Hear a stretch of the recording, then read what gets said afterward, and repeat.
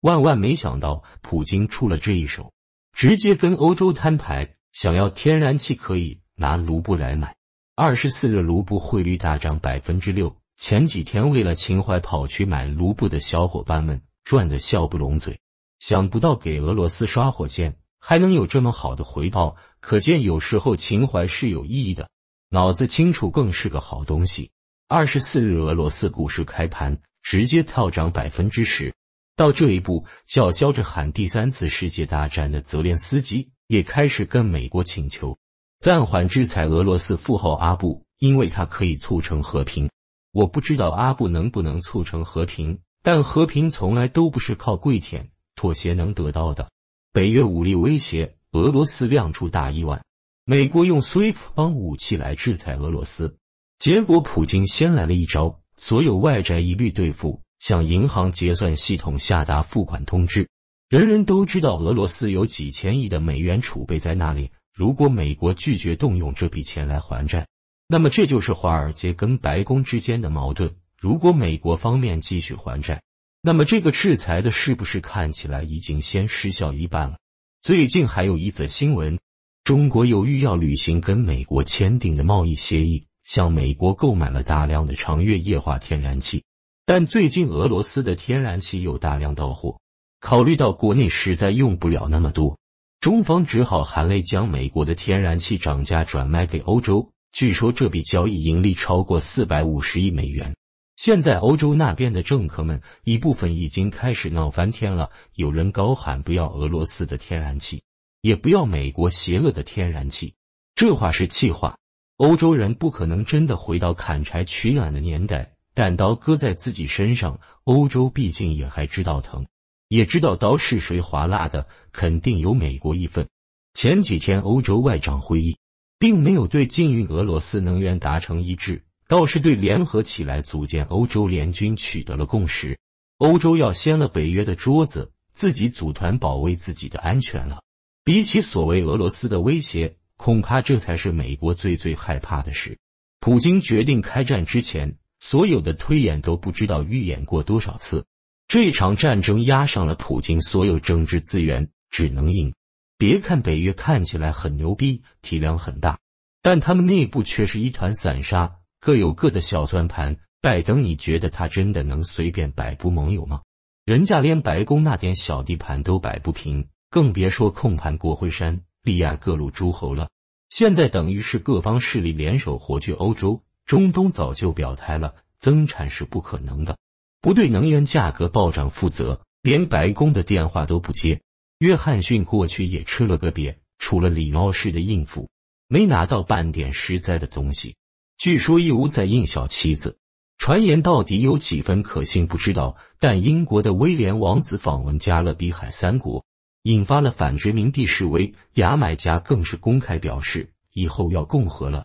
什么王子、公主、女王、亲王的，咱不需要。所以现在欧洲该清醒了，再也不是一百多年前随便一个洋人出来说几句话，就如同口含天线，所到之处那头便拜。女王的印度公开表示，货币不能放在一个篮子里，要避免遭遇俄罗斯这样的下场。现在印度是俄罗斯的友好国家，可以用卢比换卢布，优先购买打折的石油、天然气。北约代表不了所谓的文明世界，世界很大，文明与否应该是所有的人都有发言权。美国所谓的独霸全球的美梦也该醒了。北约就是为了对抗华约而生的，如果没有苏联强大武力的威胁，你以为以老欧洲的傲慢，真的甘心被美国人摆布吗？如果不捏住西欧，美国怎么可能直接野蛮生长？要知道，这位头号霸主。在亚洲都被人揍了个鼻青脸肿。如果没有了苏联化约自动解散，北约就没有存在的必要。请问美国又有什么资格骑在欧洲头上继而遥控世界？所以苏联解体，美国立刻发动了两场战争。老布什打了海湾，控制了石油，这是掐住欧洲的能源命脉。克林顿打了科索沃战争，这是直接到欧洲内部炫耀武力，给点颜色看看。当年美国精英还在，没有现在这样民粹横行，政坛拉垮。美国人很清楚，假如没有苏联这个威胁，你就很难控制欧洲。所以拜登很清楚逼俄罗斯的后果是什么。但为了对付欧洲，美国一再调戏俄罗斯，把它树立成邪恶的靶子，好玩弄欧洲于股掌之间。美国有美元收割世界的目标，欧洲一样也喜欢玩金融。单从软实力讲，美国其实很难对欧洲来硬的，只有掐俄罗斯。如果按照美国最早的剧本，这次俄乌冲突最好速战速决，烂摊子留在欧洲，俄罗斯无力收拾乌克兰残局，欧洲人出于恐惧，再次回到美国怀抱，各种百依百顺，最好像八十年代重新搞一次广场协定。一起割肉救美元，怎奈剧本虽好，演员们都不按照编剧的要求来，连带导演团内部也起了内讧。泽连斯基玩角色扮演上头了，霸者圣人的角色不肯谢幕。现在这戏彻底是砸锅了。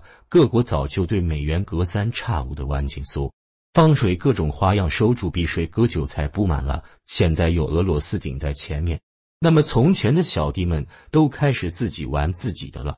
这回美国没有办法直接要求欧洲禁止俄罗斯天然气，中东也不肯帮忙。美国自己产能有限，还有个运输问题。再说，即便运过来，那价格还能低吗？你总不能强迫欧洲直接断气，这没道理。既然天然气正常交易，那么卖家俄罗斯要求只收卢布，你能说不吗？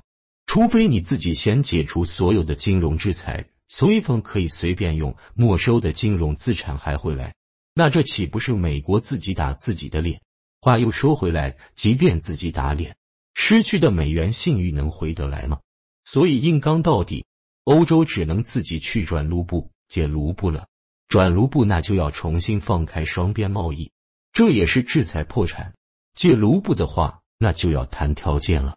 按照什么汇率结算，这都得看卖家的心情。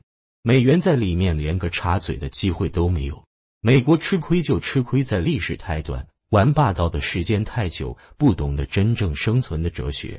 美国自己都是个大杂块，连大一统都没能真正做到，还妄想控制全世界，实施残酷的剥削，天下早就不满美元霸权了，只不过一时半会很难去推倒重来。但美国收割太急切了。把俄罗斯逼到了绝路上，只能第一个带头来实施硬切割了。一开始人人害怕，以为真的完蛋了。一个月过去了，大家发现也没啥可怕的，有些事也不是不行的。所以真的害怕切割吗？二十三日跌的是美股，涨的是能源。二十四日，拜登主动取消了中国部分商品的惩罚关税，这不是讨好中国。这是给国内按不住的通胀降降温。终究，美国的印钞机制掌握在少数人手中，大多数人一样没能力应付日益高企的物价。假如美国不妥善解决自己捅的篓子，世界上的财富就会发现不需要美元，一样可以顺利交易。到时候真就是天亮，美元回流美国，没有商品跟着回来，就看谁傻眼。